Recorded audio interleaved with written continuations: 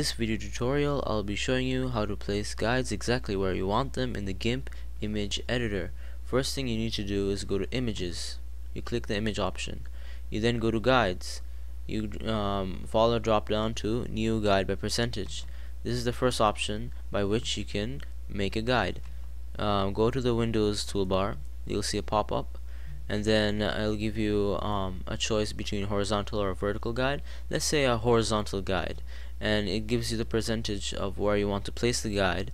And let's say 50% meaning 50% um, after the image it'll place a guide and then the rest of the uh, rest of the image follows.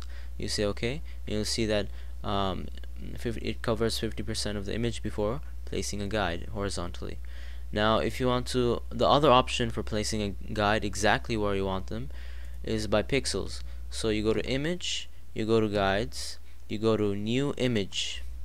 Okay, you click new image. You go over here, it says um, a direction.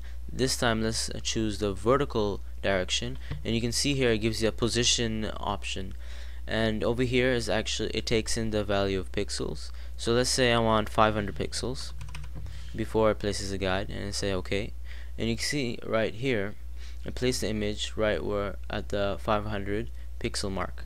If you have any questions please feel free to ask me and bye. Also I'd appreciate if you'd subscribe and um, like the video if you uh, felt like it helped you out